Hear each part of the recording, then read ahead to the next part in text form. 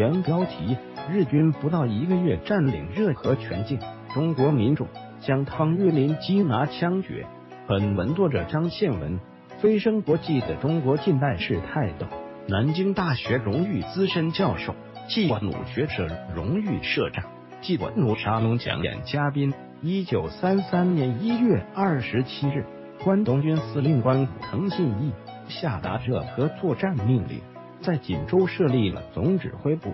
二月十日，关东军司令部向参加入侵热河的部队宣布了攻占热河计划。明确宣称要使热河省真正成为满洲国的领域。张宪文主编《中华民国史纲》第三百九十九页。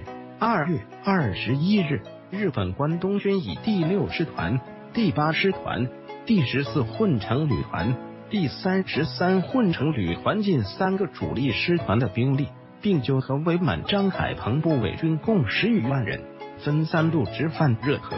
同时，日军以第三十三混成旅团出绥中直犯山海关西北方向的长城界岭口、义院口一线，以属第六师团的骑兵第四旅团出辽西的临西地区，直犯察哈尔省之多伦。作侧翼牵制，武藤命令参战各部不要在河北省内实施作战，且要在结冰期间结束主要作战行动。近五十年来，中国与日本（一九三二到一九八二年）第一卷第九十六页。面对日军咄咄逼人的进攻态势，北平军分会任命张作相为浙河前敌总指挥，统一指挥热河境内的中国军队。驻防热河的中国军队为唐玉林兼任司令的第五军团和万福临任司令的第四军团，均为东北军旧部。一九三三年，日军进军热河。二月二十三日，三路日伪军军兵临开鲁、朝阳、陵南、陵园城下，浙河之战全面爆发。开鲁守军第十七旅旅长崔兴武于开战当日即率部投降日伪，沦为汉奸。日军第六师团兵不血刃，激战开路，并在江兵峰直反赤峰。孙殿英军稍作抵抗，亦弃城而去，转守围场。日军第六师团遂占赤峰，随即以一部兵力续攻围场，指向多伦、策应且第四骑兵旅团，其余兵力则转而南下，与第八师团、第十四混成旅团会攻陵园。朝阳守军董福亭旅所属少本良团，在开战不久，亦叛变投敌。东旅防线遂被敌陷入，朝阳外围之南岭、北跳相继失守，整个防线随之动摇。二月二十五日，朝阳沦陷，日军第八师团直取陵园。南路日军第十四混成旅团侵略陵南后，亦于同期扣翻陵园。三路日军开始会攻陵园，陵园的平泉、承德要冲。为日军侵占承德，直至热河全境的必经之的。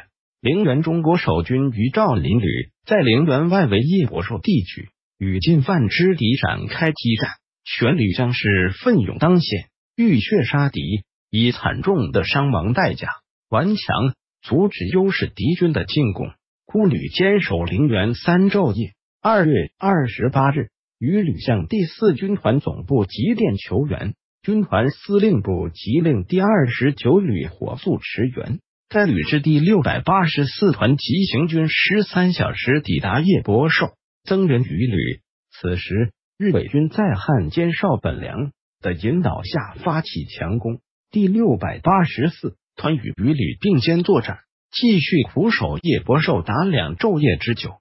三月初，日军先入第六百八十四团与旅旅的结合部。余旅为避免遭敌合围，遂撤往平泉，与第二十九旅主力会合，坚守平泉。第六百八十四团本拟随余旅后撤平泉，因被敌截断，遂向围场方向突围，与孙殿英第四十一军一部会合。此时，第五军团由于开路、朝阳作战失利，丧失抗战信心，由建平大部西撤至平泉一线。资料图第四、第五两军团汇合于平泉，本可以构成颇具实力的新防线，以抗俄日伪。但由于两军分属东北军内两个派系，不愿合作，各图保存实力。加之汤玉麟等对日伪观望动摇，无心抗战，所以他们并未坚守原地作战，而继续退却。第四军团在平泉以西的后续部队纷纷撤向西南，经常乘喜峰口撤至关内。不久，军团司令部也随之撤入喜峰口。平泉守军亦弃守平泉，随全军团撤入喜峰口。汤玉麟部第五军团失去右翼，策应急调驻守龙化的军团预备队张从云旅第七旅南下承德，在承德正东十余里的青石峦一线购置防御。三月三日晚，张旅与前出至承德东郊的日军展开激战，坚守一夜。张作相命汤部在城的周围布防，汤部官兵不从，要求先补发三个月军饷。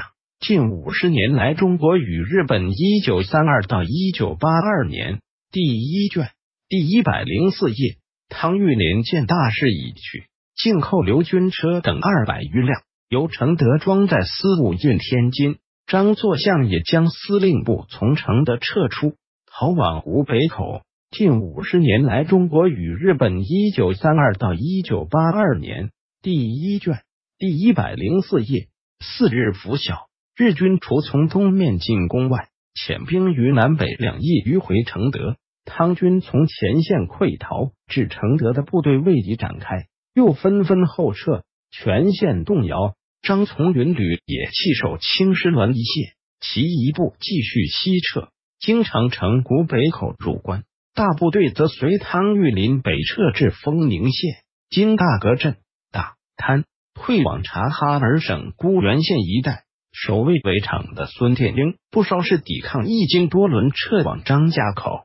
日军第六师团一部进占围场，至此热河全境沦陷。资料图：日军占领热河，使华北的屏障尽失，门户洞开，是中国方面在军事方面的重大失败。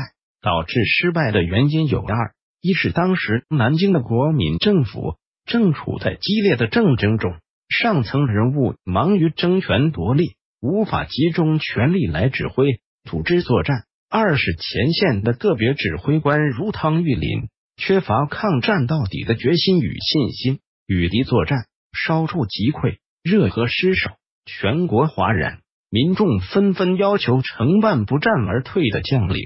有人要求将张学良、张作相、万福林撤职严办，汤玉麟缉拿枪决。近五十年来，中国与日本一九三二到一九八二年第一卷第一百零七页，在各方压力下，张学良被迫辞去北平军分会代理委员长职。国民政府发布命令，趁汤玉麟竟与前方军事紧急，忠勇将士矢志抗敌之时。未喜弃职，贻误军机，深堪痛恨，先行撤职，并彻查严缉纠办。国民政府通缉汤玉麟令，在李云汉编抗战前华北政局史料，张先文等中国抗日战争史第一卷抗日持久战局面的形成。北京化学工业出版社二零一六年版编辑林小静返回搜狐。查看更多责任编辑。